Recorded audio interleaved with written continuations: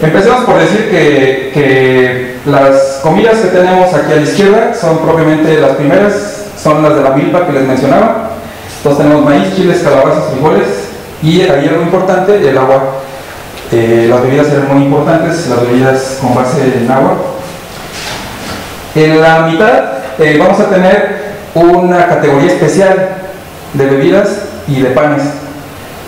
Eh, debido a que el, sobre todo el maíz, como les decía, fue en las diferentes mitologías, fue eh, dado por el héroe, mítico de cada grupo, se considera que el, maíz propiamente es la, eh, el vegetal y el grano que tiene más vitalidad y que tiene una vitalidad propiamente directa para revivir o revitalizar el cuerpo humano.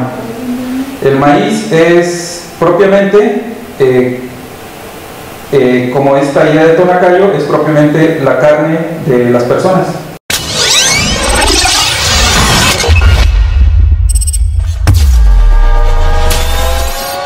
Universidad Michoacana de San Nicolás de Hidalgo, 106 años de su fundación.